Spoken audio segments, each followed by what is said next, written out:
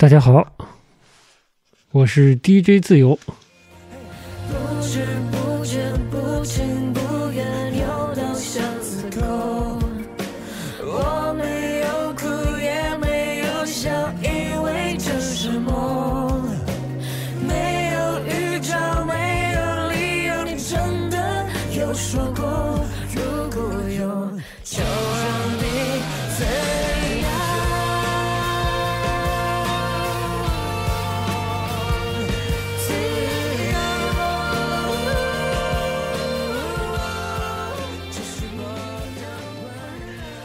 刚才听到的呢是五月天跟孙燕姿合作的一首流行乐古典歌曲，叫做《温柔》。为什么会播这首歌呢？因为里面有一一两句这个歌词是这样说的，就是没有预兆，没有理由，你真的有说过是分手吧？然后就说如果有，就让你自由，自由。大概描述的是恋爱中的青年呢被分手的那种痛苦但又撒手的心情。如果把它比附为我们现在的生活状况的话，可能很多人也有类似的感受吧。就突然被分手了，突然有了自由，这种自由呢，当然就伴随着危险。虽然这种危险呢，可能跟流感也差不了太多，但是希望大家都能越晚感染越好。还是做好个人的防护，以及做好一些基本的药物的储备，然后去留意真正的专家给予的这个在防疫方面的指导。那大家也知道，上海跟我们国家的其他城市情况是一样的，也在大转弯中。奥密克戎的感染率现在也是没有具体数字的感受到，应该是挺高的。那杨老师的家庭呢，就受到了波及，所以今天他就不能来录节目了。今天的节目就只有我一个人，那呢，我就是还是老套路，给大家读点东西。之前可能节目里稍微提过一点，上海，我最近在看一本上海的这个文学刊物，它就叫《上海文学》。原本看这个刊物的理由呢，是因为上面有陈冲，就是导演也是演员，陈冲的带有自传性质的个人的连载。这个连载的大标题叫“轮到我的时候，我该说什么”。呃，可能晚点再跟大家做一些分享吧。然后，此外呢，这本杂志也在连载徐浩峰导演所写的这个关于《红楼梦》的一个解读文章，但他的解读就非常有特点了，会带入这个中国的传统文化以及电影文化的一些相关的时代的故事，以及时代。环境下一些独特的见解非常有意思，适合这个喜欢《红楼梦》了啊，对电影创作这件事儿感兴趣，以及电影这件事情如何审美这件事情感兴趣的人来阅读。最近呢，对上海的这些文学刊物的印象越来越好。之前很早以前就开始读上海的书城，虽然不断的改版啊，质量和呃内容的侧重都有些变化。后来呢，又发现了《上海文化》这本杂志。因为想读徐浩峰的关系呢，也开始买《收获》杂志。到最近呢，遇到了《上海文学》，这些都是上海出版的跟文化和文学相关的杂志，都蛮有趣的。之前节目里也说过，这个影视行业啊，娱乐行业，在资本助助推下走到流媒体时代，内容越来越多，但是内容的质量感觉上是越来越差。曾经的大众文化这种媒介形式，可能更值得大家稍微给一些关注，因为这里搅和进来的这种企图心、欲望，就是跟创作本身无关的东西呢，可能会少一些，尤其是商业逐利这一面的影响可能会少一些。那在陈冲的连载和徐浩峰的连载之外呢，我也在看一些上海文学上面发表的一些小说类的内容啊，就是虚构类的内容。其实我已经很久不看中文的小说了，以中文为母语的这个创作者写的小说，我很久不看了，不管长篇短篇啊。那最近稍微开始看上海文学上的虚构作品，觉得有一些与上海有关的，蛮贴近我们现在时下生活的作品，蛮有趣的。就跟大家来分享一下。今天给大家念的这一篇小说呢，是发表在二零二二年六月份的上海文学上的一篇短篇小说，呃，中篇小说，叫做《上海之夜》，作者是莫音，默是沉默的默，音是声音的音。这个也没有得到这个出版方的批准了，只能说青山青山啊。主要还是希望跟大家有一些分享。如果大家喜欢或者感兴趣这类文学作品的话，买一些上海文学来读一读看。好，下面我开始念中篇小说《上海之夜》，莫音。复兴中路思南路一带建于二十世纪三十年代的花园洋房建筑群，在若干年间挤满了住客，像曾经靓丽的女子被时间堆砌成大妈。经过重新修缮，又恢复了雍容，成了包含酒店、公寓、商业区的思南公馆。思南文学中心就在思南公馆的外围，二层洋房的一面对着复兴中路，平时是静悄悄、不显山露水的一栋楼。八月后半，小洋楼每天从早到晚都有活动，因为地处便利，场内除了闻风而来的读者，还有走路。还有走过路过的上海市民，其中有些人单纯是来蹭空调和休息的。龚清扬站在侧廊的墙边，眺望台上的嘉宾和底下的观众。观众的一排排后脑勺透出专注，人群散发的热量被强劲的空调冷气压下去。建筑外墙，建筑外墙隔绝了马路上的蝉声和车声。场内清凉又安静，谈话声也就越加的分明。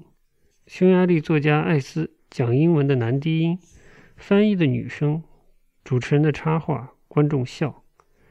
接着，金属质地的男中音覆盖全场，说道：“这让我想起在美国的时候。”说话的是乔伊达，他没有像艾斯那样穿衬衫打领带，一身麻质。白对襟衫搭配宽松土黄棉布裤的休闲打扮，头发很短，两腮留着薄薄的胡茬。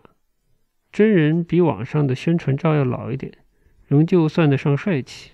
他在讲早年的海外经历，他们那一代留学生靠奖学金和打工凑合着过，工种选择不多，一般在超市和餐馆。乔伊达运气很好，找了一份家教的活。学生是学了十几年中文仍然不怎么有效的老太太。他以为老太太想练口语，结果人家想学的是唐诗。老太太说：“我见到的活着的中国人都能跟我讲英语，我只想知道一千多年前的中国人在诗里写了些什么。”他的讲述引发了观众的笑声。龚清扬想，乔伊达真的很会讲故事。甚至有可能这是他现编的段子。在座的如果有乔伊达的读者，一定知道他的留学故事。十五六年前，学环境工程的乔伊达赴美读博，留学期间，出于对中文的想念，或者为了逃避论文带来的压力，他开始在某个小众的文学论坛写小说。日均访问人数不过百来人的论坛，活跃成员主要是文学作者和编辑。有种小圈子传阅的私密感。他的小说写的是一九四五年八月的上海，日本宣布战败前后一两周的情景。主人公有地下党、日本特工、拿着日伪政府薪酬做文学翻译的日本左翼青年、德裔犹太人，以及开餐馆的青帮人士。宛如谍战剧的背景，徐徐铺开，发生的却是些家长里短的细节。人与人之间暗暗流涌动，偏要披挂起社交的外壳，斯文周旋。在大时代，个人的算计挡不住滔天海浪；在大时代，个人的算计挡不住滔天的浪潮。日本天皇宣布战败的消息一出，每个人都被推到了从未预想的境地。不到十万字的小说更新缓慢，差不多用了八个月完结。连载期间，底下的回复逐渐热烈，并陆续出现新的注册 ID，明显是闻风而来的。完结不久后，八月出了书，继而上了当年的畅销榜。从论坛走出来的纯文学作家不多，乔伊达的往事经过媒体报道的一轮又一轮重写，越来越像一个传奇。和宫青阳参加过的其他文学活动不同，此刻没人看手机、打瞌睡或者聊天。他很清楚这是乔伊达的功劳。他说起话来既不像作家，也不像理工男，有种江湖气。他不引用概念，也不单纯耍嘴皮子。抖的每个包袱，最后都会落回到有关文学的理念上。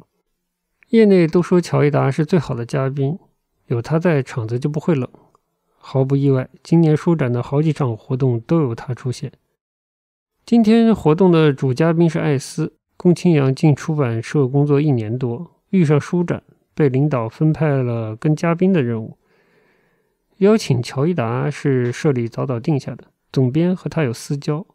预先打过招呼，在嘉宾名单上看到乔伊达的时候，宫青阳差点想要提出辞职。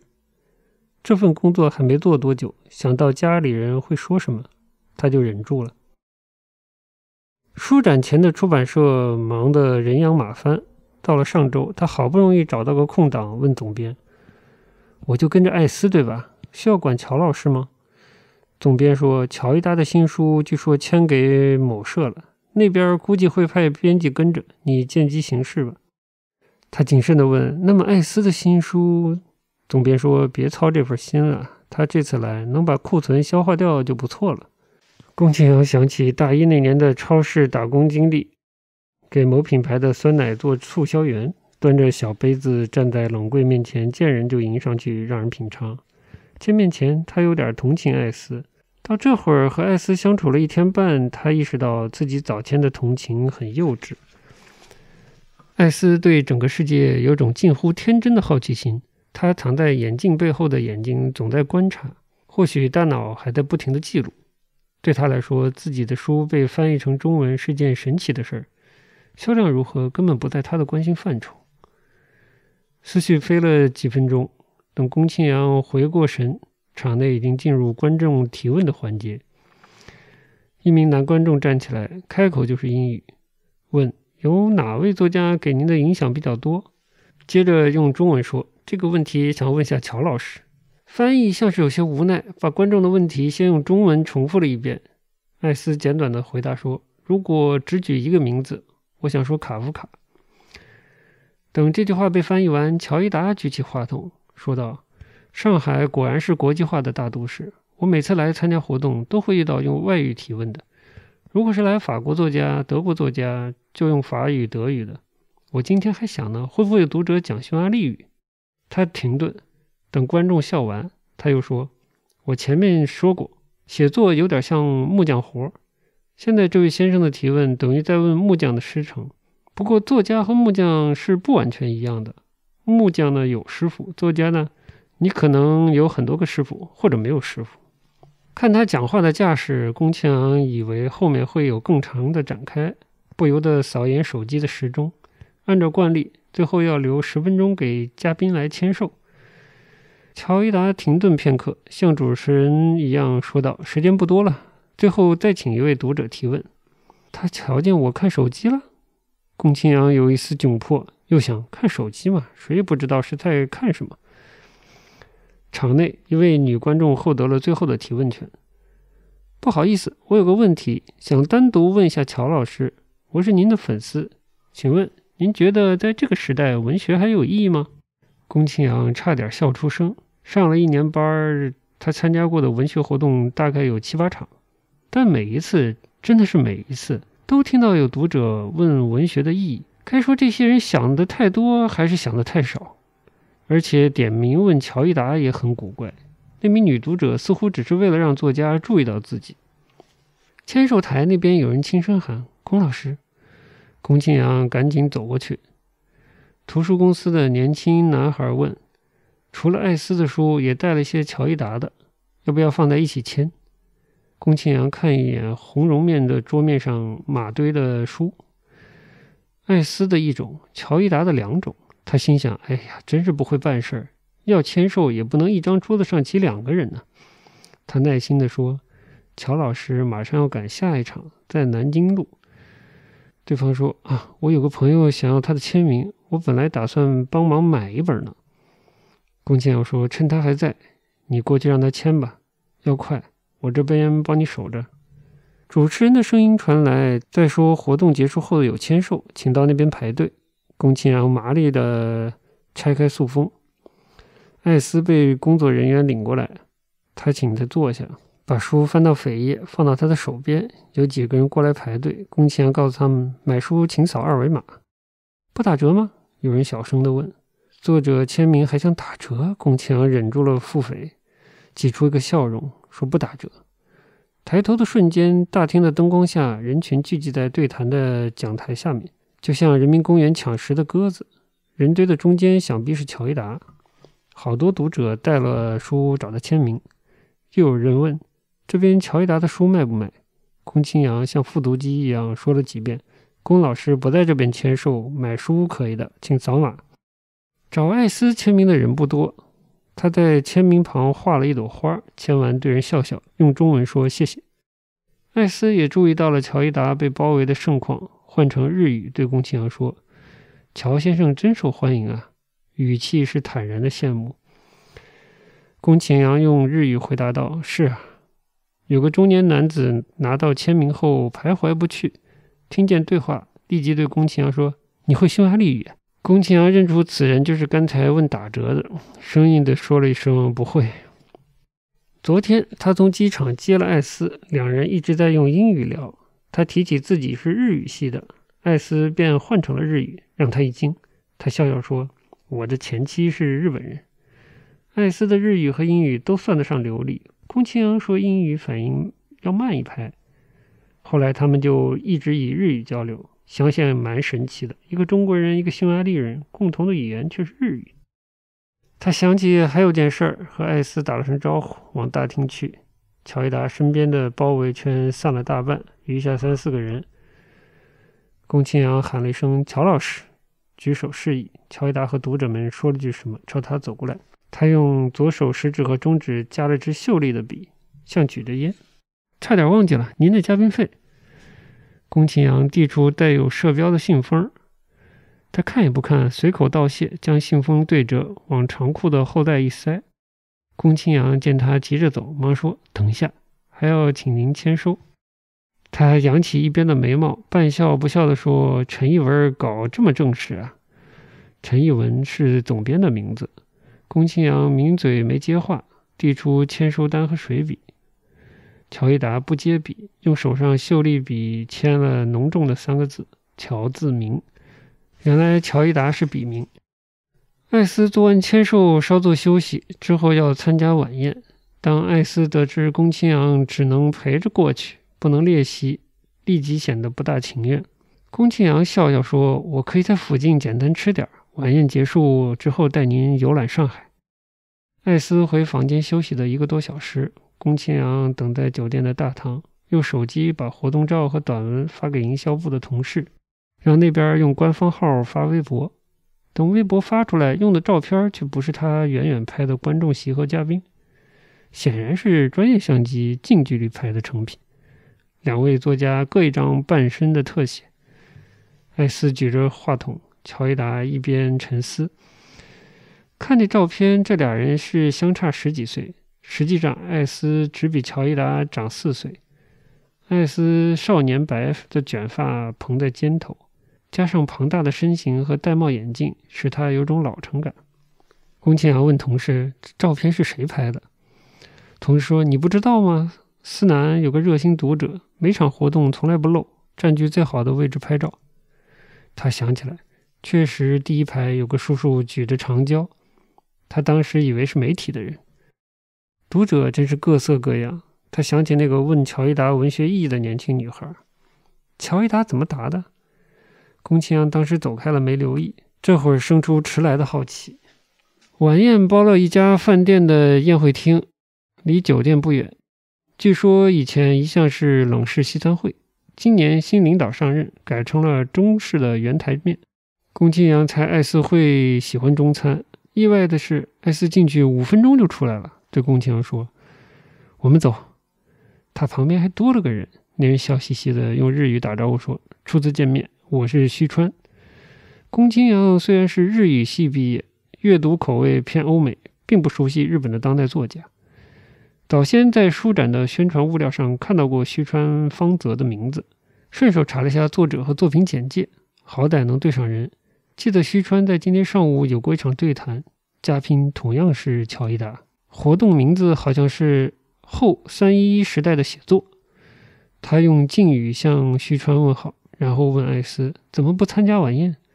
艾斯摆摆手说道：“我们自己吃，轻松些。晚宴太累。”宫崎阳想：“您倒是轻松了，回头领导一定会训我。”他也不好再劝，领着两位作家出了饭店。天已经黑了，马路仍是亮的，路灯、商场照明、行道树上的装饰灯球、广告屏，所有这些交织成明晃晃的光污染，城市上空掩映着一片诡异的粉色。艾斯问宫崎阳原本打算吃什么，他说馄饨。艾斯呢听不懂这个日语词，他又用英语解释。旭川在旁边说：“馄饨好，上海的馄饨。馄饨店在威海路。”宫崎阳觉得距离太短，不好打车，便带他们走过去。夜晚的马路笼着一层残留的暑气。艾斯不知何时去掉了领带，敞着第一粒扣子，边走边用方格手帕擦汗。须川身上是一件花衬衫，白底上缀满了蕨类植物深深浅浅卷曲的绿叶，显得清凉。他边走边张望，忽然说：“全是名表店，上海人这么喜欢名表吗？”南京路的这一段有好几家国际一线品牌的表店，宫崎昂路过无数次，从未进过店里。听到日本作家的疑问，只好说：“顾客不一定是上海人。”那就是说，中国人都喜欢昂贵的手表。乔先生也戴的是很贵的表。他说的是乔伊达。宫庆阳淡淡的说了声“是吗？”日语的这句话很好用，说了等于白说。他觉得西川有点咄咄逼人，什么事儿都要概括为国民性格，有必要吗？馄饨店里的人不少，宫庆阳带着他俩上二楼找了座位，等服务员过来，点了小馄饨和炸猪排。服务员摆出收钱的架势，他这才想起自己没带现金。这家店没有移动支付，他一向都知道，今天给忘了。他环顾四周，想找个面善的人用微信转账换点钱。艾斯一直在关注他和服务员的互动，问他怎么了。不能用手机付钱，我没带现金。艾斯得意道：“我有现金。”说着从裤兜里摸出了带有射标的信封。怎么能让嘉宾请客呢？宫崎阳连忙的拒绝。艾斯不听，出出一百元付账。徐川在旁边感慨道：“原来中国也不是所有的店都可以用手机支付。”店里的冷气不足，吃砂锅馄饨有点热。宫崎阳见到艾斯频频擦汗，后悔带他来这里。艾斯说：“馄饨真美啊！”他听了一愣。汤里浮着黄的蛋皮，绿的葱花，小馄饨的皮像纱一样薄。褶皱透着肉馅儿，确实好看。徐川说：“馄饨好极了，炸猪排我还是喜欢日本的。”片刻后又说：“宫小姐是上海人吗？”艾斯说：“龚小姐的曾祖父是福建人，后来到了上海。关于怎么来上海的，他给我讲了一个神奇的故事。所谓神奇的故事，是宫崎阳曾爷爷的亲身经历。曾爷爷生活在福建的一个小城，考上了福州的中学。”从家乡往福州，水路迢迢，船要走三个多小时。每次去学校待一个学期，学期结束才回家。中学二年级，他回家搭乘的客船遇到了劫匪。那是民国建立后的动荡年代，一些人聚集成匪，可能转天就扯了新旗号，成为了正规军。水上的抢劫不是抢完就完事儿算了。如果劫匪判断乘客有油水可榨，会将其带走，放话让家人赎身。宫少爷和另外几个人被关在了破庙里，等了差不多一周，其他人陆续被赎走，只余他一人。宫家是做生意的，在当地也算小有名气。他想：难道大哥不想花钱，宁可让弟弟去死？等待让他耗尽了耐心。脑海中不断浮现糟糕的念头。看守破庙的人换了几轮，一天新来的守卫当中有一个是他认识的，这个人从前在店里当过伙计。那人找机会告诉他，现在龚家分裂成两派，一派主张花钱，一派要去请军队剿匪，两派呢互不相让，吵得很凶。又说，你如果要逃，我今晚帮你逃走，明天我就被调到其他地方去了，帮不上你。他知道这前任伙计愿意为他冒险，无非是想要向他讨赏。他也知道逃走可能引得匪徒狗急跳墙，说不定留在这里继续等待更安全。他只有十六岁，第一次需要自己做出重大的决定。最终，他选择跟着伙计逃走。他实在不想把自己的命运压在看不到尽头的等待上。巧得很，第二天凌晨，正规军攻打了那群土匪。他后来想，打起来一团乱，要是自己留在破庙，说不定会因此丧命的。这场被绑架的经历让他得出一个结论：人能够依靠的唯有自己。中学毕业后，他没有按家人的愿望成为教师，而是选择从军。他以为在乱世中这是最好的出路。此后，他又遇上了若干次选择，每一次他的判断都算得上明智，包括后来加入共产党。他不光为自己决断，也替下一代筹划。他的儿子龚清扬的爷爷成年后当了老师。只因做父亲的反复说，国家开始建设，老师或者科学家是最好的职业。龚清扬爷爷的性格和曾爷爷不同，他不爱做决定，也从不对家人的生活指手画脚，这就造就了龚清扬的爸爸，一个没上过一天班的人。现在有个专门的名词形容这种人——啃老族。龚庆阳怕艾斯接下来会说出白天遇见自家爸爸的事儿，还好没有。那会儿离活动开场还有一个小时，附近附近的咖啡馆满座。艾斯不肯坐在思南公馆的二楼等，说宁可在外头透气。他只好带着艾斯到复兴公园走一圈，偏就这么巧遇见了爸爸和他的舞伴儿，混在一群中老年人中跳探戈。龚清扬不好装作没看到，为彼此做了介绍，说这是我爸，这是作家艾斯先生。艾斯当面赞叹道：“您是个了不起的舞者，恭维话用英语说出来，再强的戏剧感也变得自然。”爸爸也回忆英语，道谢后问艾斯：“你是第一次来中国吗？喜欢上海吗？”用上海话对龚庆阳道：“这人英文口音怎么这么重啊？东欧国家来的吗？”龚庆阳微微温怒道：“我在工作，不和你说了。”虚川得知艾斯听了好玩的故事。表示羡慕，说能聊天儿真好。他在这边的编辑不懂日文，英文也不大行。宫庆阳想起须川和他们走的时候也没人照看，便问道：“带您的编辑呢？”须川说：“送乔先生去机场了。乔先生忙得很，说是明天北京还有个活动。”宫庆阳懂了，须川的编辑舍下嘉宾去陪乔一达，这是对那一位有所求。他不由得庆幸总编和乔伊达够熟，没有派他做什么无用功。从馄饨店出来，气温比刚才降了少许，总算有点夜晚的感觉。宫小姐的日语讲得很好，须川像是恭维地说：“可惜我的书不在你们社。”宫清扬尚未独立做过书，进社到现在，除了帮其他编辑看初审，就是做些营销辅助。他也没提交过新书的选题。说真的，他甚至不知道自己是不是想当个编辑。他客气地回道：“说我还是个新人。”艾斯忽然说：“宫小姐不写小说吗？”他有些狼狈，说：“不是每个人都可以写小说的。”艾斯说：“你会讲故事。”徐川说：“小说不仅仅是故事，文学圈里的人都爱这么说。不过呢，我就不喜欢他们这种论调，没有故事哪来的小说？”今天上午的活动，乔先生也讲了一个故事，很有意思，不知道是真的还是他编的。可惜翻译讲的太简略了，我看他说了挺长的一段。宫崎阳想起他们的活动主题，心头微动。那个能看到前世的西藏喇嘛的故事，你当时在场吗？旭川有些激动。宫崎阳摇头。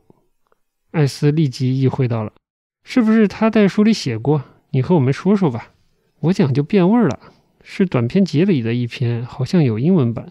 宫庆阳边走边用手机搜索，有的，书名是《最初和最后的故事》，那是乔伊达的第二本书，虽然有上一本八月的成绩作为铺垫，两年后出版的最初和最后的故事销量惨淡，他的第三本书也没有引发多少关注。沉寂若干年之后，乔伊达以悬疑小说《野生》重新回到人们的视野，为此还引发了一系列的争论，例如纯文学与类型文学的界限等。他最新的《时钟火》则是科幻，似乎铁了心要破戒闯入类型文学圈。宫崎阳也是此刻上网搜索才发现，最初和最后的故事虽然在国内反响平平，却有好几个语言的译本，除了英语，还有法语、意大利语。徐川在旁边问：“龚小姐读过乔先生的书？”他迟疑片刻，点点头。徐川没注意到他的窘迫，说：“采访我的记者问我有没有读过，我说没有，我看不了中文。”记者又问：“翻译到日本的中国作家，您看过哪些？有没有喜欢的作家？”真的是太奇怪了，就像在问日本料理店的厨师：“你喜欢中国菜吗？你觉得哪家中国菜比较好吃？”艾斯笑而不语。给艾斯的媒体采访安排的不多，只有两家。宫崎阳事先看过记者准备的问题，帮他们做了修改。有些问题确实莫名其妙，让人感到媒体现在越发不行了。有能力的人也不会在媒体待着，就像宫崎阳的同学，少数读博，多数呢在培训机构或者日企。同学群里听说他在出版社，立即有人问能否出版论文，他都不知道该如何解释。确实也有做包销书的社，他工作的地方相对商业化，要考量每本书的销量。出版行业整体不景气，大社、小社、出版公司乃至工作室，都是市场浪潮中的小舟。他随波逐流，环顾四周，比当年被绑在破庙柱子上的曾爷爷更惶然。馄饨店位于静安别墅的后门，同样是上世纪三十年代的历史建筑。思南公馆就是花园洋房。静安别墅则是新式里弄，造型简洁的二层小楼，纵横成行，中间的巷道足以行车。龚清扬记着，他念研一的时候，这里有家私人图书馆，借用了波拉尼奥的书名。不知何时，图书馆变成了一间成衣工作室。他率先走到其中一户人家的后院，按了门铃。有人隔着对讲机问哪位，他答：“我来找小秋。”门锁开了。他推门，示意两个人进去。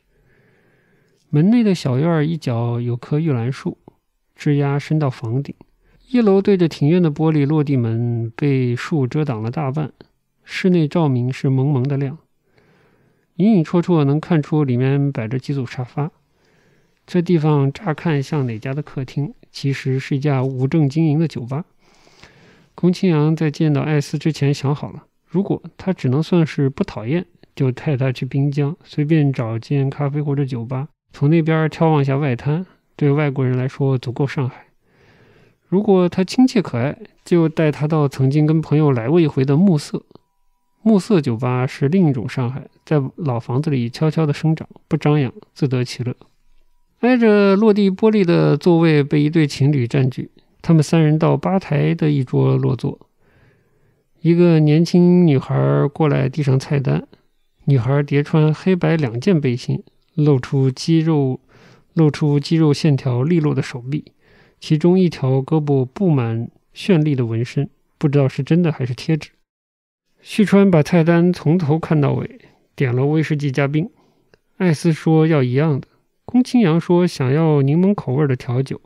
女孩就问你喜欢什么基底？宫清扬说随便。女孩扬眉道偏甜还是偏苦？龚清扬说：“真的随便。”说完，他意识到自己是个不爱做选择的人。既是服务生也是调酒师的女孩回了吧台。龚清扬猜想，或许她就是小秋。上次忘了问朋友。艾斯朝着龚清扬说：“乔先生的那篇小说《喇嘛的故事》到底讲的什么呀？我很好奇，等不及看书了。你能简单讲讲吗？”我讲就没意思了，真的。还是看书吧，不过重点不在喇嘛，并不是宗教故事。第一次读到那个故事的微妙感触犹在心头。五月的一天，这个标题平淡，让人无从预期故事的内容。主人公我在安徽长大，曾赴美留学，回国后没有上班，成了作家。有一年春末夏初，我在西藏漫游了小半个月，和朋友约在成都，打算一道去阆中等地。从拉萨飞成都的航班是晚上的，剩下一整个白天，我对拉萨已经审美疲劳，于是包了辆车，前往一个多小时车程外的村子。朋友的朋友在那边搞了个手工合作社，我想去看看。到村里一问，合作社的地点是以前的小学。广东援建的新校舍盖好之后，老学校闲置下来，直到去年工坊入住。我找到大门走进去，独自踱过无人的走廊。操场那边竖着空荡荡的旗杆，被西藏的蓝天衬得寂寥。歌声朦胧地传来，顺着歌声。找到了女人们工作的教室，她们坐在模样原始的织机前，合着纺织的节奏哼唱不止。我很快注意到领头的人，他身穿的藏袍，梳着发髻，让他和其他女人区分开来的是眼镜，玳瑁粗框眼镜透出城市的气息。她不是美女，让我有少许的失望。我进屋道明身份，他倒了甜茶。向我讲合作社的诸多事宜，聊了一会儿，我感到自己刚才的失望太过庸俗。如朋友所说，他是个有趣的人。每个在西藏长期居住的人都有他或者他深爱此地的理由。我问他为什么在这里发起合作社，以为会得到理想主义的答案，没想到他反问，没想到他反问道：“你相信前世吗？”他说：“附近一所寺庙的喇嘛能看见别人的前世。我从前就是这个村子里的人。本想说自己不信这些，但鬼使神差的，我说出口的却是：在哪里能见到你说的喇嘛？”他说：“等会儿有客户要来，不能陪着去了。”给了路线，我让司机开过去，反正时间很充裕。寺庙在一座山坡上，西藏常有的情形。说是寺。其实是一串沿着山坡排列的小房子，每间房内摆满了大大小小的佛像，燃着酥油灯和烛火，摆着募捐箱。根据他的说法，那个喇嘛的房间在山路转弯的地方，很好找。我沿着台阶往上爬，穿过一间又一间幽暗的小庙，有的房间里坐着喇嘛在念经或者做手工，有的房间空无一人。在高原上爬几步就开始喘，到了转弯处。眼前的与其说是建筑，不如说是沿山壁搭建的棚子，着实的简陋。我的好奇心被消磨得快没了。进棚一看，里面坐了个喇嘛，年纪很小，也就十四五岁的模样。棚内晦暗，高高低低摆着好几座佛像，地上燃着几盏酥油灯，酥油味弥漫四周。另一头的门外阳光灿烂，门框被映衬为明亮的白色长方形。像通往某个未知世界。这是师傅出去了，只留下徒弟。地方这么小，居然能待两个喇嘛，我有些失望和诧异。试着搭话，问：“这里就你一个人吗？”意外的是，小喇嘛会讲汉语，立即说：“你不是人吗？”哦，我听说这里可以问前世。没有前世，只有从前。什么是从前？过去死了就叫从前，要么是对方的汉语不够好，要么是少年喇嘛的语言能力好到足以打机风。总之，我来了兴致，摸出五十元纸币放进募捐箱，又问：“那你能看到我的从前吗？”小喇嘛说：“从前你在四川，周围是水，庙里有个大胡子。虽然是四川，菜不辣。”我心想：这是打哑谜吗？接着想到。这般描述倒是很像自己要去的阆中。阆中临水，有汉桓侯祠，也就是张飞庙。而且阆中著名的张飞牛肉是酸咸口的。正在惊疑不定间，小喇嘛点起一支蜡烛，灯光照亮了他的手，他做了个手势。我随之看向蜡烛，应该只有短暂的几秒，又像过了许久。我的从前渺茫如影，清晰似火。烛光照见了早已被抛却的童年。有人喊“洞洞”，我知道那是自己的小名。事实上，从小到大，我一直存有如真似幻的模糊记忆，父母并非我熟悉的模样，而是另外两人。脑海中还有一个名字——洞洞。念小学的时候，我问爸爸：“洞洞是谁？”爸爸说：“没有人叫这个名字。”烛火被小喇嘛掐灭了，某种确信如当头的凉水浇下来。我的确生在另一个小城，或许是阆中，在那里我是洞洞。过去死了呀，新的一辈子落在安徽。我是在幼年时被拐走的，慌乱间我奔出简陋的棚子，疾步下台，匆匆穿过一间又一间庙宇，回到车上。我去了机场，改签成去北京的航班。对成都那边的朋友，我只说是临时有事，免不了被一顿抱怨。到北京是五月十日的夜晚，两天后，四川发生了大地震。如果我不曾仓促地改变行程，就会和朋友一道被困在浪中。如果运气更坏，说不定会受伤或者死亡。但我来不及对自己躲过一劫感到庆幸。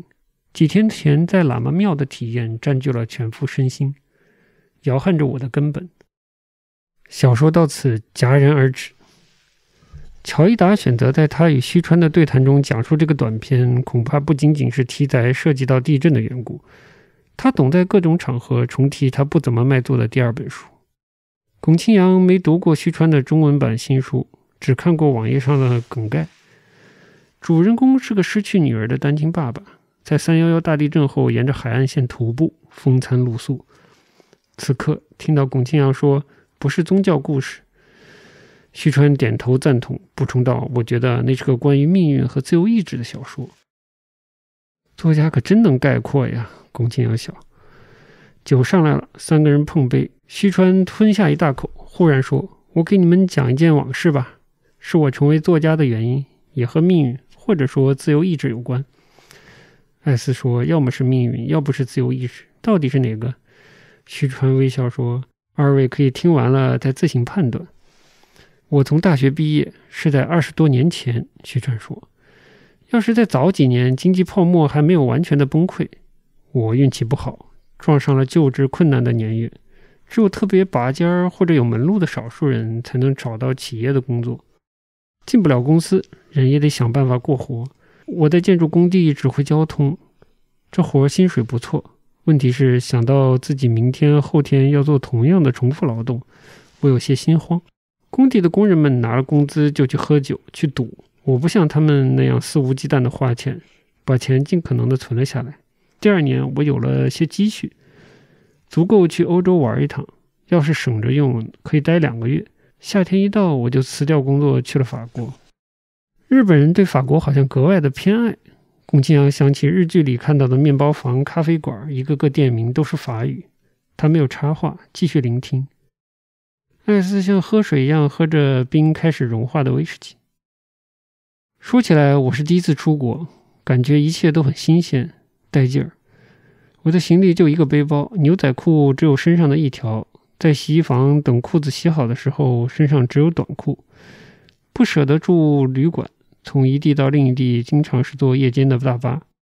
途中在休息站洗澡，就这样晚上坐车，白天玩，感觉白昼永远不终结。我遇到了各种的旅行者，用磕磕巴巴的英文和他们聊天儿。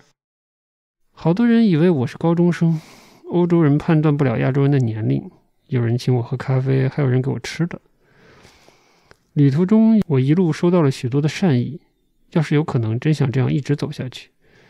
但是现实常常给人浇凉水。我玩过了南部，再到中部，在一个村子上遇到了劫匪，劫匪拿走了我的现金和护照。去了警察局，警察不会说英文，虽然听不懂，但我大概明白了，他的意思是我运气不太好。至于能否抓到劫匪呢？他耸耸肩。一直以来，法国法国人让我感觉特别舒服的一些品质，比如说随意，不在乎他人的看法。当我面对警察的时候，这些优点全都变成了缺点。比起沮丧，我更多的是生气，气劫匪也气警察。有那么一会儿，我没了力气，坐在警察局门口的台阶上发呆。我的内裤有个缝上去的暗袋，藏了一点钱。这个窍门是出国前朋友教的，我只后悔暗袋的钱放少了，要重新申领护照得到巴黎。我的钱不够去巴黎，只够买去里昂的车票。里昂毕竟是个大城市，到了那里，我可以试着找找看有没有什么日本人的机构，问他们借点钱。不过等护照下来呢，总要一段时间的，我又该怎么生活呢？那是九月，坐台阶上很晒，我可能晒得有点中暑了，脑袋乱糟糟的。一会儿就一个念头，我知道去最近的大巴需要走到另一个大一些的镇，我就是从那边过来的。太累也太热，我丧失了行动能力，干坐着，直到有人递给我一罐冰可乐，对我说：“别坐这里，跟我来。”和我说话的是旁边一家咖啡馆的老板，他英语不错。冰凉的可乐喝下去，我重新活了过来。我借用店里的洗手间洗了把脸，慢慢的向他讲了我的遭遇。老板说：“已经发生的事情就让它过去吧。你是没钱去巴黎？”我说：“我的钱只够去里昂。”说的时候，我生出一点希望。这人挺好的，是不是能向他借点钱？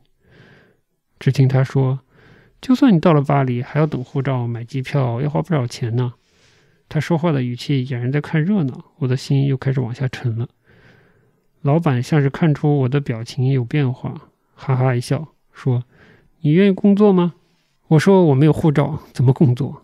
他说：“这就是乡下的好处了，小伙子，法国是个好国家。”我以为老板是让我在咖啡店打工，结果他把我介绍到了葡萄园。那地方的葡萄品种叫做佳美，是最早采采摘的。每年采摘季，年轻人从城市结伴到来，做一两个星期的采摘工。摘葡萄比在工地指挥交通辛苦，但我也没什么好挑剔的，管吃管住，还有钱拿。说到吃，我在法国一直是面包加奶酪，偶尔买便宜的烈酒。葡萄园吃的好极了，光是奶酪就好几种，大盘的沙拉，大盘的火腿，还有红酒炖牛肉。中午和晚上，饭桌上摆着葡萄酒。一升装的大瓶，喝酒管够。至于住宿条件，也不能说不好。一间屋里塞满了两排双层床，男女混住。其实，就算一开始男女分开，意义也不大。他们到了晚上就成双成对睡在一起了，吵得很。但我太累，照睡不误。葡萄园的收入不低，这伙人也没有存钱的念头。我听他们在这个饭桌上醉醺醺的交流。有人打算买二手车，有人说去年干活的钱都买了大麻。我感到一种空虚，这和日本的工地没什么不同，都是货币的循环。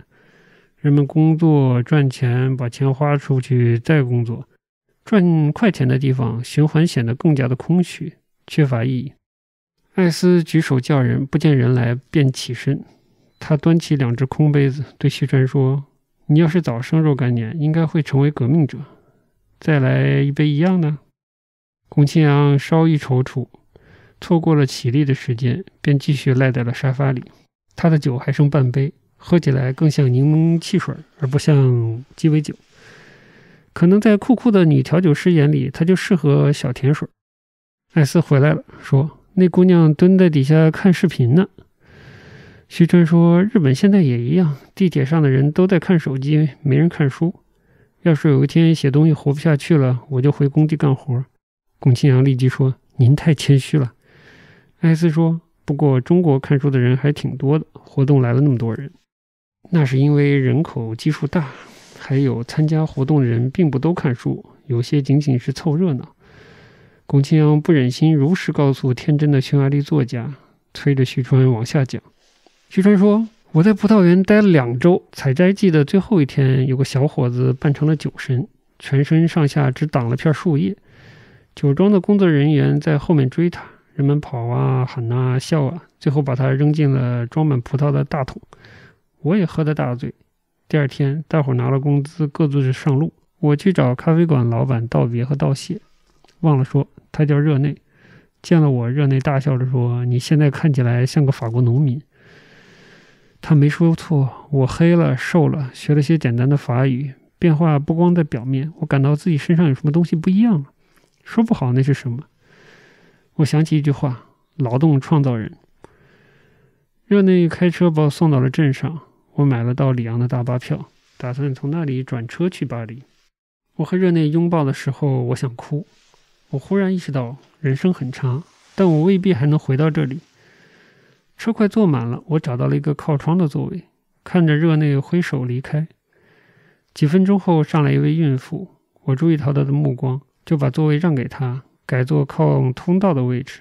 刚坐下，我感到有个硬邦邦的东西，是靠背和座椅的夹缝里戳着我的尾骨。难道是你的护照？宫崎阳惊讶地问道。忘了用敬语。旭川一笑，哪有那么戏剧性？我把那东西抽出来，发现是一本文库本，对，日语的小书。说起来，我差不多有两个月没看过一行日文了。从日本出发的时候，我倒是带了两本书，看完就往路上的咖啡馆随便的一扔。大巴上的那本书没有了外封，磨损的很厉害。作者我只听过名字，上个时代的作家，对我来说是阅读范围之外的。换了平时，我根本不会看这本书。但一方面，我沉浸在离愁之中，想让自己振作起来；另一方面，久违的母语实在是亲切。这个时候，就算是一张，就算是一张宣传单，我也会认真的从头读到尾。车抵达里昂。书还剩下一半，我没有立即买下一程的车票，找了间咖啡馆，坐在那里把整本书看完了。我从来没看过这么动人的书。他闭上眼睛，仿佛在体会多年前那场阅读的余韵。合上书的同时，我产生了个念头，或者说一种确信：我要写作。原来如此，艾斯说：“这就是你成为作家的原因。”既可以解成，既可以解释成命运，也可以解释成自由意志，全看人怎么想。须川举杯，艾斯也拿起杯子。龚清扬紧紧的，龚清扬赶紧和他们碰了一下。他此前听得太入神了，这才发现艾斯的酒送来了，不光是他俩的，他也有杯新的鸡尾酒。倒三角杯里是白色的液体，里面斜躺着一支牙签儿，缀了两粒橄榄。上一杯酒还剩三分之一。外壁晕开的水汽让杯垫积了水。他拿起桌上的纸巾擦拭，听见艾斯说：“整件事也可以看成是小说对你的召唤。”看我们这一行的，差不多都遇到过这种时刻。龚清扬问：“艾斯先生也遇到过？”作为听故事的回报，我也讲一段吧。这要从我早年的一篇小说讲起。小说是第一人称写的，我就直接说我吧。艾斯说着，视线缓缓地划过旭川和龚清扬的脸庞。差不多六十年前，我是个大学生。当时匈牙利大学生经常举行秘密的集会，我也是集会的一份子。我们的据点之一是某教授的家，教授为我们提供他家的客厅，倒不是因为赞同我们的言论，他算是中立派，我猜。他喜欢在年轻人当中，这让他感到重新拾回的青春。他不仅让我们使用客厅，还让他妻子为我们做点心和咖啡。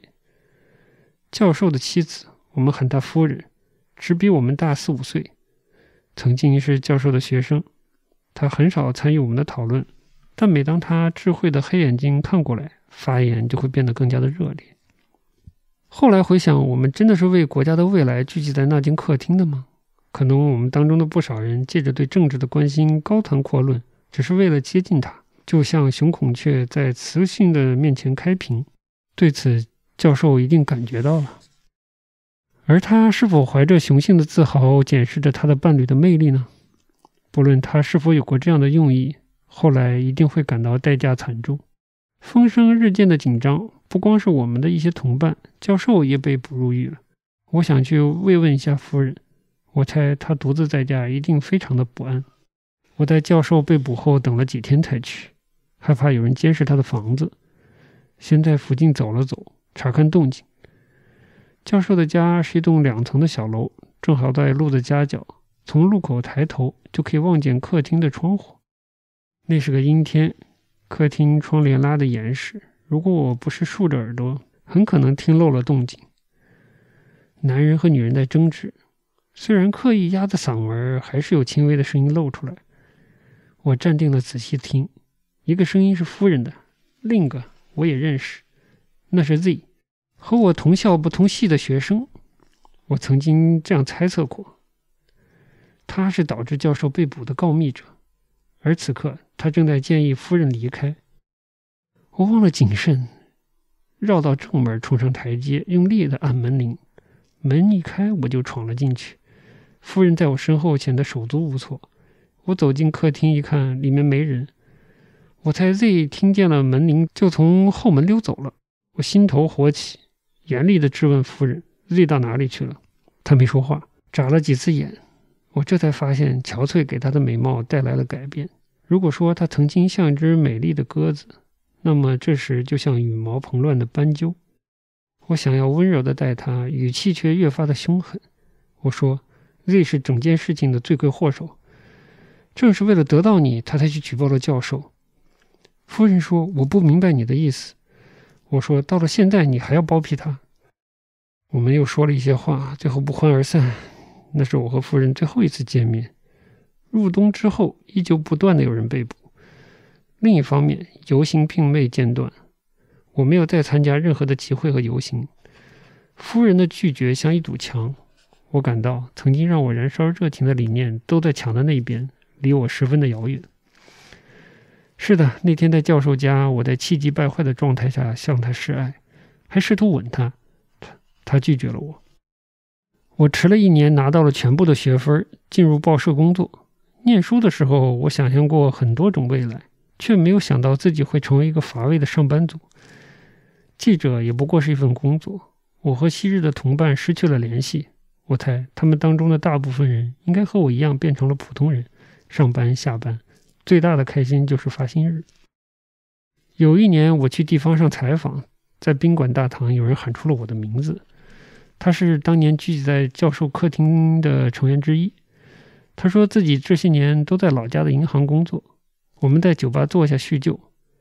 他说起一个个人名，我觉得像是许久以前读到的书上的名字。突然，我听到了教授的姓。他说：“教授几年前出狱了，没能重返大学，如今在中学教书。”我忍不住问：“夫人和教授在一起吗？”他古怪地看着我，慢吞吞地说：“夫人的事，你不是应该最清楚吗？”我说：“你什么意思？”他说：“其实伙伴们当中不少人认为是你让教授坐牢的，不过我是相信你的。”我感到荒谬，他是在暗示我才是那个告密者。我说是 Z 干的，我可以向你保证。说出 Z 的名字的同时，我有种用刀割开什么的快感。也许我割裂的是自己的过去。这时我注意到他的脸变得僵硬，像是难以启齿地说：“可是 Z 不就是你的笔名吗？”艾斯说日语的声音低沉又温和。龚清扬恍惚地感到，随着他的讲述，周围逐渐充斥着无形的重压。仿佛空气变成了啫喱，虚川从鼻子里笑了一声，啫喱状的空气晃了晃。原来是开放结局，有点狡猾。虚川说：“这是个好故事，可是离题了。这哪里是小说对写作者的召唤？”我还没讲完，艾斯吞下一大口酒，狡黠的一笑。宫强插话说：“刚才是小说，接下来要说的是现实，对吧？”没错，艾斯说：“这个故事收在我的第一本书里。通常新作者短篇集不好卖，我的这本书据说只卖了几百本，身边的朋友也没人和我讨论，估计他们看了不喜欢。书出版了一年多，我父亲住院，我去探望他，没想到他主动提起了我的书。父亲是个会计，他看报纸，但不怎么看书。在我看来，他也不会因为书是我写的而去读。”我成年后和他的关系很淡，这是常有的事。孩子和父母既不理解对方，也不试图理解。我大学毕业的时候，正好遇上了苏联的解体，我们周围很多事物都改变了。在我眼里，父亲一直停留在旧的时代和旧的思维方式。我想知道我们的国家是怎样一步一步走到今天的。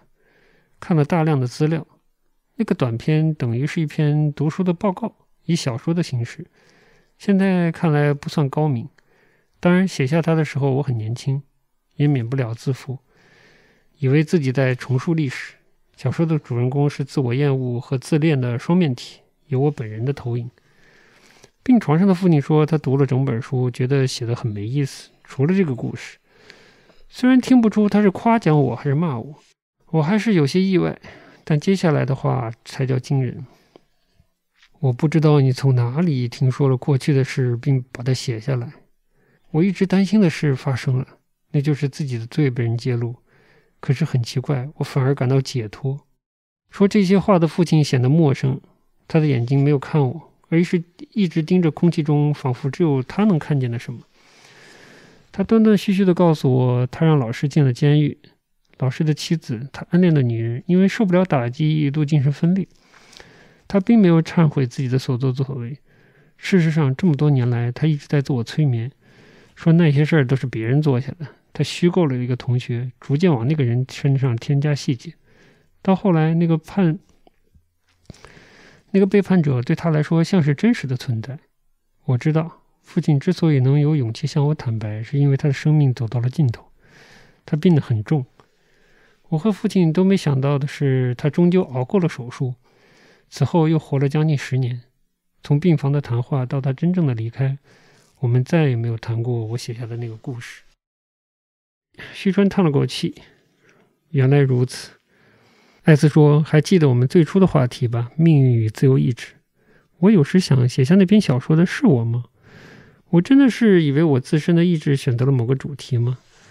虚川说：“有时候现实的影子落在了小说上，至于是不是自由意志。”他迟疑不语。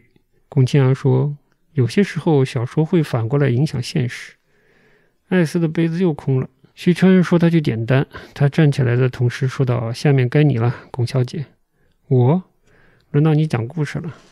龚清扬怔了怔说：“我不会。”心里想的是：“难道是命题作文？命运和自由意志？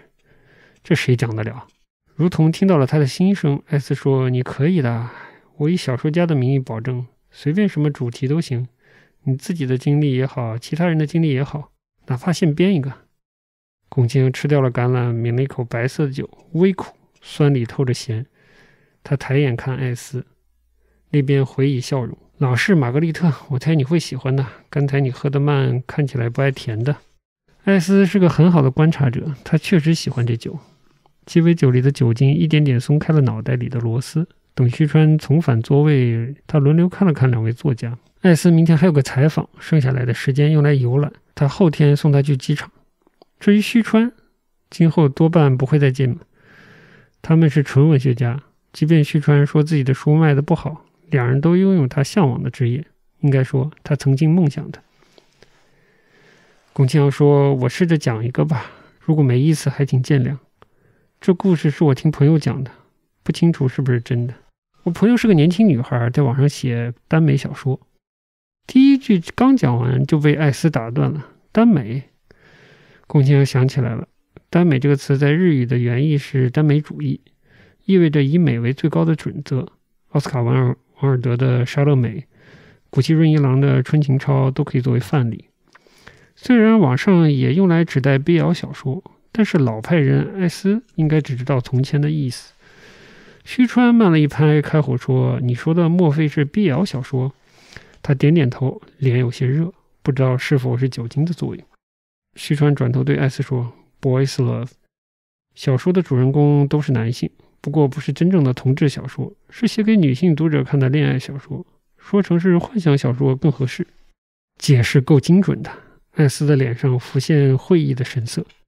龚清扬压下了窘迫，继续说。中国的网络小说读者很多，如果是热门的书，能有几十万、几百万的读者。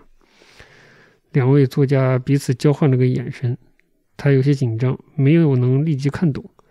我朋友这里就用 A 指代吧，他不是热门的作者，连载了两本书，每本书的读者都少得可怜，可能把一本书全都看完的也就一百多个人吧。他不光写，也看其他人的。他不觉得自己比当红的作家写的差，可能单纯就是运气不好。虽然完全不红，A 也有几个热心的读者，在连载期间追着看，给他留言。其中有一个叫麒麟的 ID，更是差不多每个章节都有写留言，谈论对本章的感想，猜测后面的走向。有时候他甚至觉得自己的小说有麒麟看就知足了。说到这里，龚清扬想起日语里的麒麟指长颈鹿，就补充到说，麒麟是指古代的神兽，不是动物园里的那种。A 在念研究生，课业呢不算繁重，所以才有时间写小说。他猜麒麟是个高中女生。网文读者很多都是高中生。麒麟的留言很少用表情符号，遣词造句也显得老道。A 觉得麒麟有点像少女时代的自己。在留言和回复的过程中，两人是越来越熟悉。所以，当麒麟问 A 要 QQ 的账号，A 迟疑片刻便答应了。在中国，手机聊天主要用微信，微信因为有朋友圈，发布日常动态更私人一些。QQ 嘛，一般用在工作上。麒麟这个要求其实挺聪明的。如果他上来就要微信，A 是不会答应的。A 不是每天都上 QQ，麒麟也一样。遇上彼此都在线的话，就打字聊会儿天儿。他们的关系从作者和读者更近了一步。A 像姐姐一样，把他喜欢的书、电影、音乐分享给麒麟，麒麟也总想把感想告诉 A。从那些交流中，A 发现麒麟有种特别的感受力。他忍不住问：“你也写东西吗？”麒麟说：“当读者这么开心，为什么要自己写？”A 就说：“你还小，以后也许会改变想法的。”麒麟说：“那就等到以后再说。”在他们相熟的过程中，A 的第三本书连载完了，《近未来反乌托邦题材》和前两本一样，阅读量惨淡。网络作者和传统文学作者的区别在于，你很清楚自己到底有多少人看了，甚至没法安慰自己。这次连留言也少了，因为留言的主力麒麟把有些感想第一时间在 QQ 上讲过了。A 半开玩笑的说：“你不留言，我都没有动力接着写下一本呢。”麒麟问：“你下一本的计划是什么呀？”A 说：“我打算换个路子，写推理。”麒麟说：“我一直觉得你特别好，不过阅读量上不去总是有原因的。你知道你的问题在哪里吗？”A 有些吃惊，麒麟这种居高临下的语气是他不曾见过的。他迟疑着问：“你觉得呢？”手机屏幕一直显示那边在输入。过了好久，麒麟的回话来了：“你的小说前三分之一可以删掉，每一本都是这样，就像一栋房子前面有个过长的走道，不妨试试看，去掉走道，让读者直接站在大门口。”这句话不长，用不到打许久。A 意识到，麒麟说不定先写了更严厉的措辞，又删掉重写。他当然受到了一定的打击，但他心里清楚，麒麟的话是对的。A 把写到一半的新小说的大纲推翻重写，他其实另有一个急需修改的大纲，是他的毕业论文。A 的导师同时兼任学校领导，太忙了，没怎么管他的论文。暑假前，A 提交过一个敷衍的大纲，导师说这样不行，没有，但没有给出具体的修改意见。他见导师一直没有来催，索性就拖着。研究生只剩最后一个学期了。同学都在忙论文，有些人同时还准备国考或者考博，也有人开始四处投简历求职。他把时间花在看不到成效的网文写作上，心里不是没有我这是在干什么的混乱。他开始想要证明自己，也许仅仅是为了证明给麒麟看。BL 小说必须有双男主，这一次的主人公是书店的老板和刑警，在他们的周围有一系列案件发生。A 将论文资料放在了一边，看了一堆刑侦科学还有犯罪心理学的书。他听了麒麟的建议，不再像以前那样先铺垫主角的过往，开篇就是一场谋杀案。A 把完成的新大纲发给了麒麟，按理这是作者的禁忌。A 在发出之前不是没有忐忑，他对自己说：“与其在全书完成之后再后悔没写好，不如先让麒麟提意见吧。”读者有时候比作者本人更能看出问题，不是吗？当晚，麒麟的意见来了，说是凶手的动机不足，可以再想想。A 有些沮丧，为了掩饰情绪，回复道：“你这么老道，真的是高中生吗？”麒麟像是讶异的说：“我从来没说我是高中生啊。”A 说：“那你到底是姐姐还是妹妹？你知道我的年龄？”麒麟说：“我肯定比你老，我毕业很久了。” A 有些意外，所以麒麟是个年长的女性，甚至可能结婚了，有孩子，在空余时间看看网文，并偶然成了自己的读者。艾斯做了个手势，龚清中断了叙述，喝酒，试图平复心跳，酒精让心跳变得更密集。艾斯说：“这个麒麟就没有可能是个男的？”龚庆阳垂眼说：“BL 读者很少有男的，不过麒麟的性别在这个故事里不重要。”须川摸着下巴说：“是吗？我本来有些猜测，如果性别不重要，我可能猜错了。请接着说。”嗯。麒麟像是不想继续年龄的话题，又说：“你确定这个故事要写 BL 吗？”A 反问：“什么意思？”你知道的，我一直都写 BL，其他的我不会写，也没兴趣。麒麟说：“你的两个主人公，我没有感觉到他们都必须是男性。你如果把书店的老板换成女性，整个故事也一样成立。如果故事的内核和人物本身要求你写两个男人恋爱，没问题。”但现在这样是硬凹。A 完全愣住了。麒麟这番话甚至不像一个 BL 读者。他想反驳，然而他意识到麒麟是对的。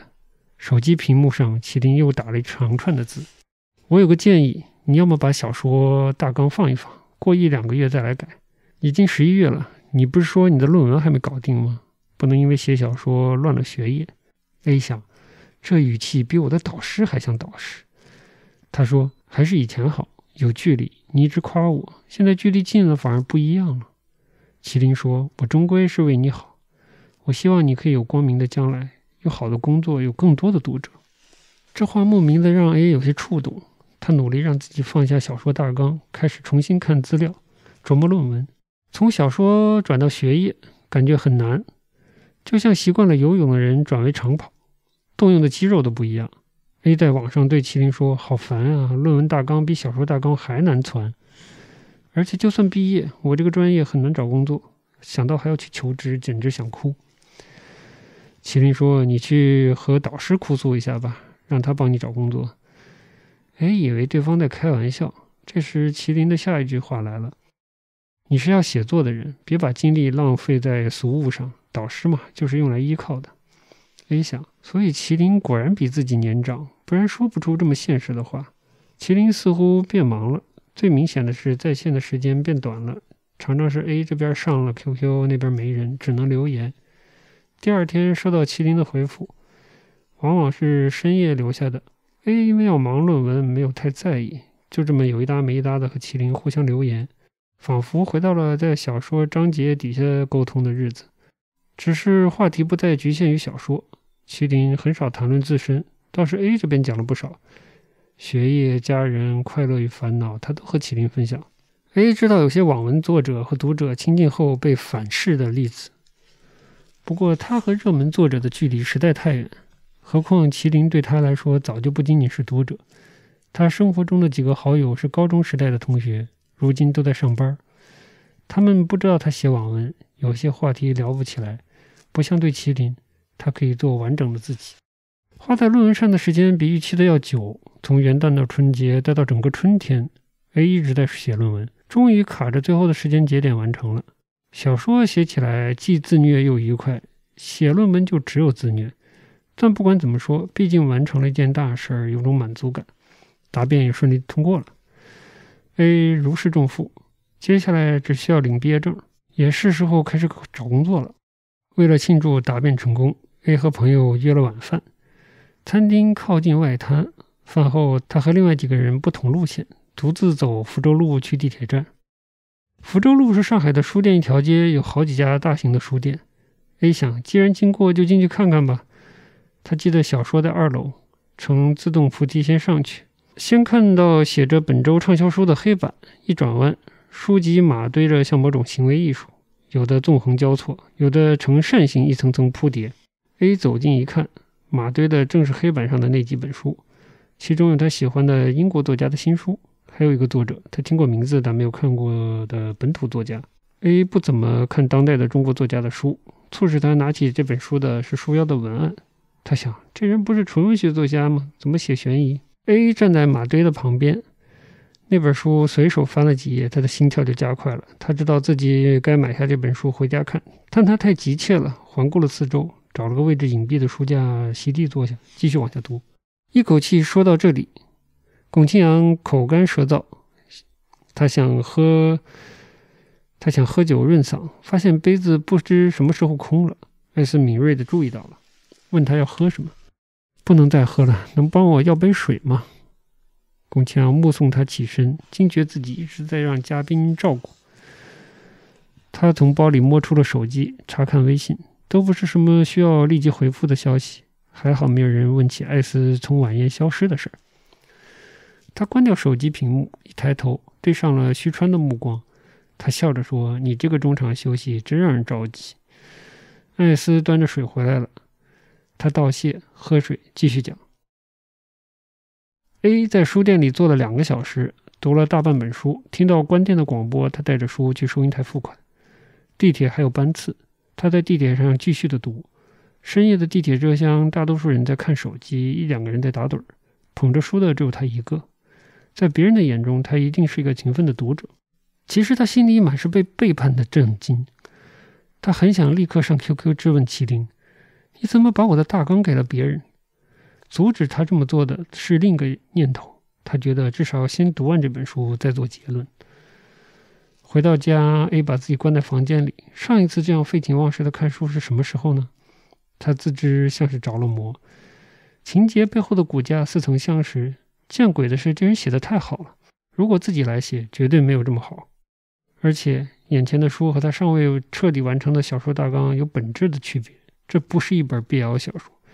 主人公是开书店的女人和男刑警，作者甚至没有加入常见的爱情戏。两门两名主人公相互欣赏，共同破案，他们到最后也没有成为恋人。读完最后一行字，A 打开了电脑，上网搜索书的作者。不意外，新书刚出来，而且畅销，网上好几篇访谈。A 读完了这些访谈，上了 QQ，麒麟不在线，他问在吗？那边没动静。他只好写留言：“你其实是某某吧？”他打出那本书的作者的名字，盯着屏幕看了很久，点了发送键。龚清扬感到有些缺氧，要么是讲述这个故事过于耗费能量。他停下来，大口的喝水。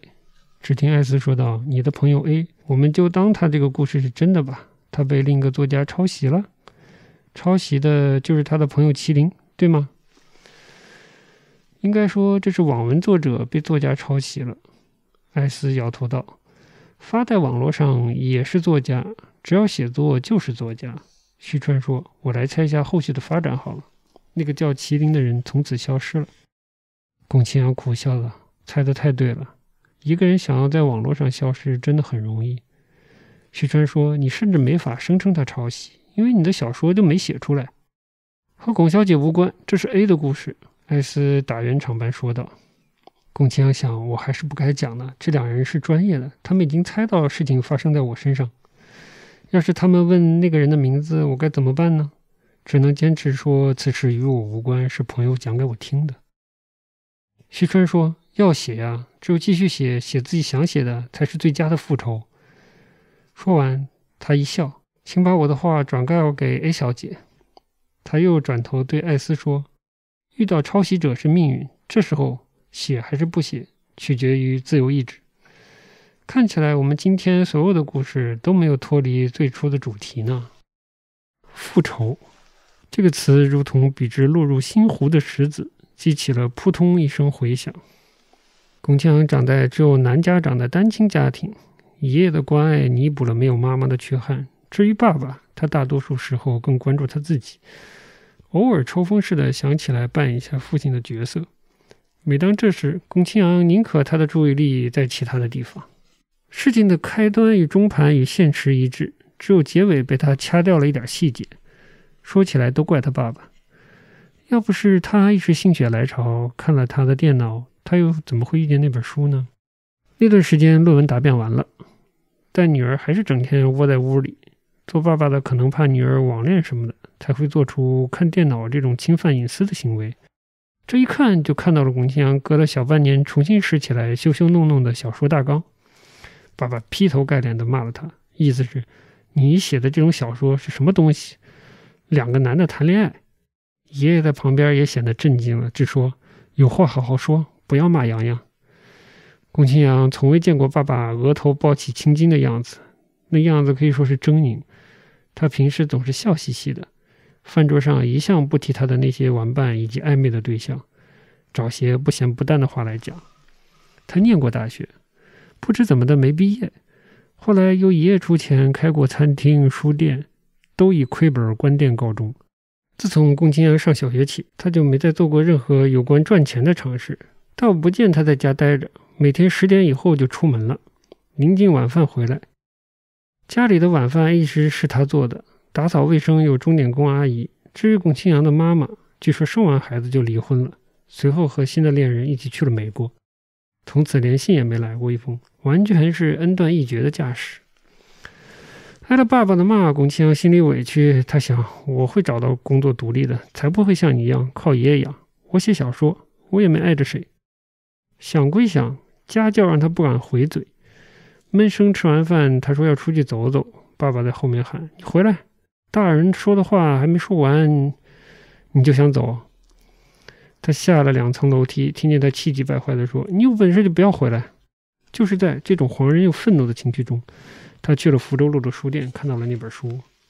一个晚上，双重打击：先是爸爸的不理解，然后是麒麟的背叛。他以为是麒麟的那个人，原来是乔伊达。给麒麟发完质问的留言，久久不见，久久不见回应。对方要么隐身，要么不在线。他听见有人敲门，以为是爸爸，不情愿地开了门。门外是爷爷。爷爷不知道他此刻心乱如麻，安抚般地说。这么晚了还没睡啊？又说，冰箱里还有你喜欢的奶油小方，出来吃。要是在平时，爷爷早就睡了。估计他是起夜看到他这边门缝的灯光。他刚哭过，确实想吃甜的，便说好。爷孙俩在厨房一角的餐桌坐了。爷爷没有提到他的小说，也没有对爸爸反常的高压态度做出评价，而是给他讲了一个故事：曾爷爷年少时遭劫匪的故事。爷爷说：“我爸凡事都有决断。我念了物理系，在大学教书，全是他指好的路，全是按他指好的路走。如果不是他要求，我原本想学文，也想写小说。现在想，如果当时学了文，后面的日子可能不好过。我爸经常都是对的，但被指引的人有时难免还是不甘心。等到我自己有了小孩，我想。”我不要像我爸那样指手画脚，小孩自己想走什么路让他走。龚清扬没说话。爷爷的放养造就了爸爸不思进取的一生。他无法评判爷爷的对错，毕竟对他来说，爷爷比爸爸更亲。他在书店里看书边哭的时候，他在书店边看书边哭的时候，爸爸打来电话，他掐掉了。后来爷爷打，他就接了，说自己待会儿就回家。吃完一块蛋糕，爷爷还是没提他写小说的事儿。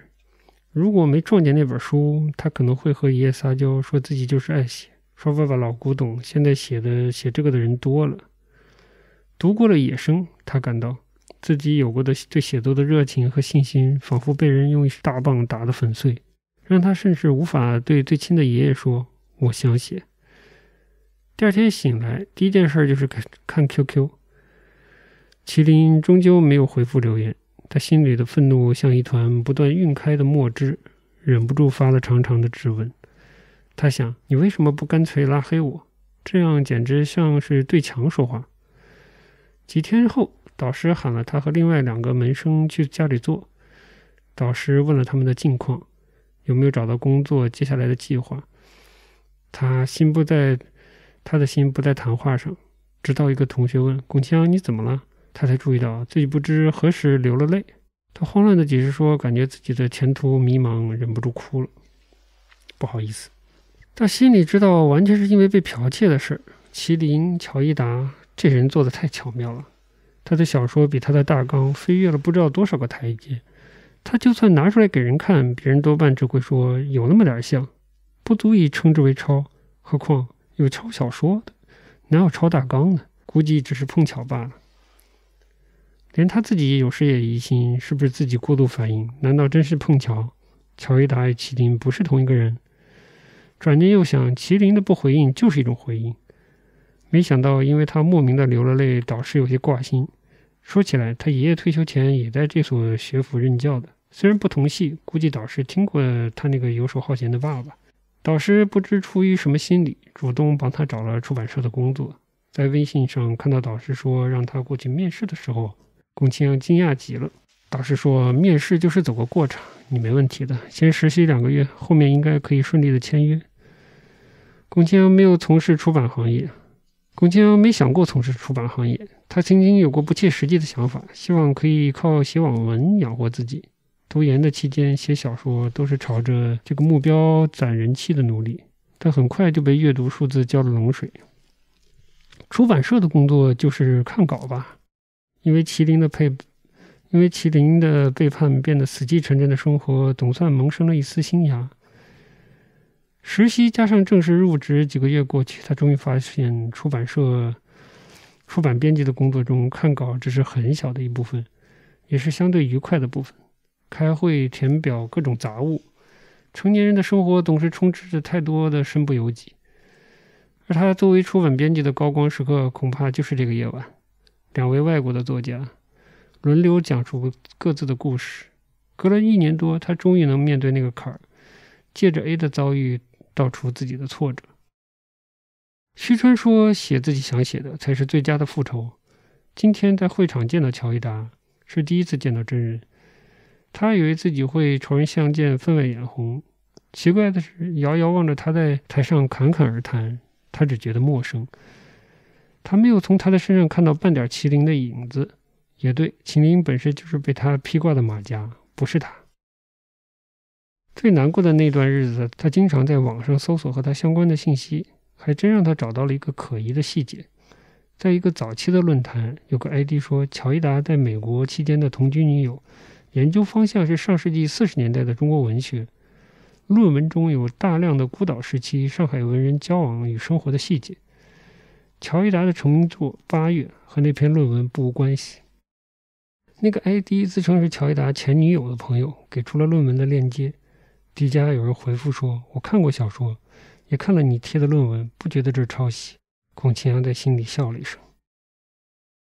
按理他应该对乔伊达敬而远之，但他仿佛自虐的一般，把他的几本书都看了，包括今年书展前刚上市的科幻小说《时钟火》。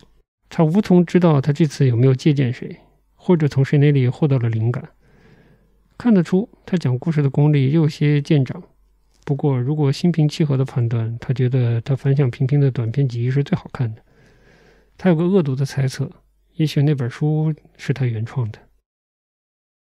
他还一直没有再写小说，他以为自己再也不会对写作有向往，直到徐川那句关于复仇的话，重新扰乱了他花了很久才得以平静的心湖。龚庆阳对徐川说：“对了，我刚才就想问来着，在大巴上捡到的那本让你决定写作的小书是什么？”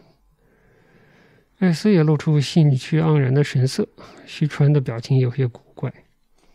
是《黑雨》。这本书拍成了电影，你们一定知道的。我刚想起来，当初围绕这本书也闹过剽窃的传闻。有人说作者剽窃了某人的日记，那本日记后来也出版了，我一直还没读过。也有传言说日记在出版前经过了修改，为的是和小说贴近，来反证剽窃。艾斯若有所思地说：“真相总是只有少数人知道。”不过，对于小说读者来说，小说足够好看就足够了。龚清扬点点头，算是赞同了艾斯。他准备买单，却听西川说已经买过了。艾斯说：“我们去看看外滩吧。”龚小姐，你回家会不会太晚？我也可以和徐川先生去。龚清扬赶紧说：“不晚，我带你们去。”徐川举杯，杯里是冰块融化的水，淡到看不出酒色。干杯！为了所有等着完成的小说。艾斯说：“祝小说家打败小说窃贼。”孔庆阳一时间找不到祝酒词，最后说：“尽自由意志，意志终将战胜命运的安排。”